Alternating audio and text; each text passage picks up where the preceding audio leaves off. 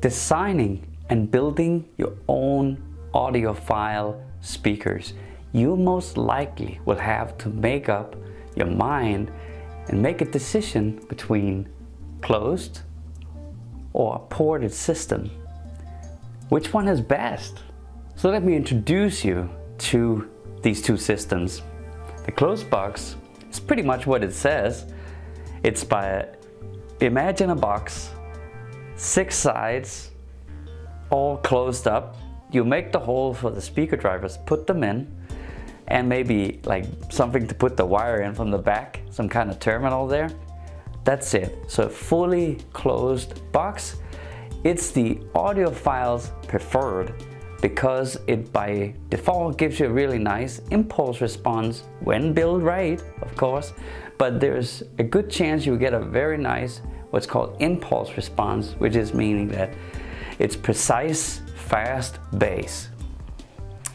The ported box, typically chased by the bass head, um, it will provide you some extra bass uh, and deeper bass uh, but it all depends. But we'll get into that later. But so by using a tube like a, a pipe you probably have seen in the speaker, like a hole and then a pipe in there. That pipe will create a resonance, sort of like blowing over a, um, a bottle, and it will give that whoo, whoo, and that it will do at a certain frequency depending on the box, depending on the woofer, and depending on the length and width of that pipe. And that will help the driver to lower bass and, and, and stronger bass by um, alleviating some pressure inside of the box and provide some sound.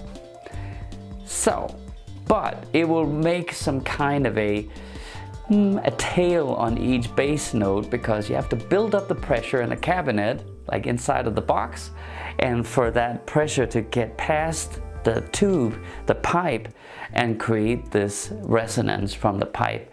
And something that's called uh, time smearing and that a audiophile would consider a bad thing. But like any good drama, it's never that simple and the likely hero might have some really dirty secrets and can be quite abusive to the wrong woofer. So all these woofers have personalities, something we call Thiele/Small parameters. Those are two guys that kind of mapped all this out and found models, calculations to kind of predict a good outcome.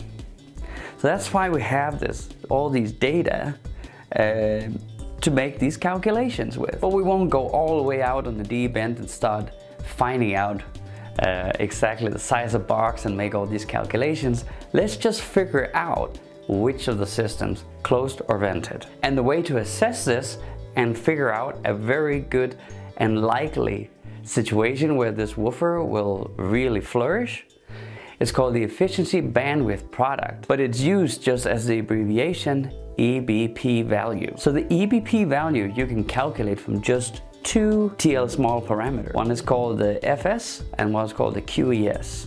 The FS is the resonance frequency in free air. So that is where the speaker driver, the woofer, is resonating all by itself once going through the sweep. So that could be like whatever, 30, 40, 50, 60 hertz, like in the deep area, you know, of sound. The other value, QES, is where it's electrically is resonating. Like how much is it resonating at that frequency? So let's say that we have an example here. So uh, if we look for FS, you will find that it's 38 for this driver. And then we'll find QES, which is 0.55. And so the QES is, the higher that number is, the more it's resonating. And um, so 0.55 is kind of like in the middle somewhere, um, where a low QES will be down at like 0.2 and a high, fairly high one is 1.2. So the, the higher that number is, the more it's resonating. And so when you have a woofer resonating a lot, at a fairly low frequency, you need to help that woofer to control itself. And that's where the box comes in. And a closed box is really good at that. But where a woofer that resonates less would need some help to get more full in sound. So from that, we can derive a scale between these two numbers. So the value of 50 is ideal for a closed box and the, and the value of 90 is ideal for the vented box. So with those two numbers in mind, 50 and 90, we can now calculate with our FS and QES. So what it is, is that we take FS and divide it by QES. And 38 divided by 0.55 gives 69. So that puts us right down the middle with 69 between the ideal of 50 for a closed box and 90 for the um, vented box. So, so you can actually choose, now choose between the two. And so if you're more into impulse response, you will choose the, the closed box. And if you want extended a more extended bass, more powerful bass, you choose the, the, the, uh, the ported box. But, okay, let's say that the result went to, uh, to one side. So that, let's say that it, the uh, EBP value was 55. Well, then you really want to choose the closed box. And if it went to 90, you really want to make sure that you choose the, the ported box.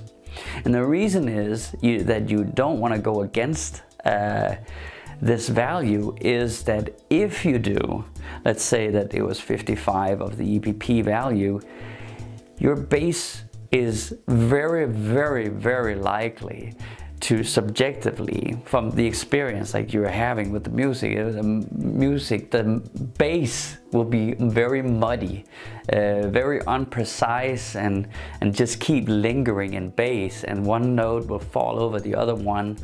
Um, so a muddy perspective of bass not a firm cool, uh, with nice nuances and everything the more space there is between the impulses, the more clear it is to what's going on and you can hear small nuances to the instruments. And so, but, but on the other hand, let's say that it was uh, 85 or even maybe even 95 uh, that your calculation ends up on the EBP value you will have an anemic bass, like you will have a lack of bass. You will, you, it will be thin and transparent sounding.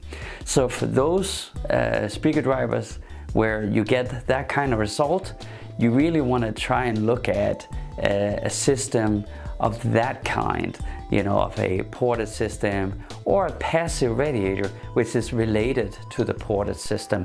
They kind of have all the same theories, uh, different calculation models because you're dealing with, uh, you know, a, a speaker driver with no motor versus a pipe. So in conclusion, there is no best between these two, really. It is subjectively what you like and plus if one your speaker driver the one you already have is off to one of the sides when you calculate that EBP value then it's already predispositioned to that type of enclosure and you know what the consequence will be if you go against it. So as a final heads up I want to say that if you're looking for other woofers for your speakers because they got fried at the last party playing some Hypertrax, dark side or something like that, you now know the importance of those woofers to be having the same Thiele/Small data as the ones you had before in order to get the same result. You can't just willy-nilly put uh, if you have like two 8 inches woofer in, in, your, in your speaker, just replace them with something that fits in the box. Not gonna work. But we'll get all back into that in some other videos about calculating speaker boxes, looking at crossovers and all these kind of things. And please ask in the comment section and uh, also give an idea for a new video. That would be really awesome. So well, thank you for watching this about EBP values, efficiency bandwidth product. Here is Kent and take care guys and have fun with your projects. Bye.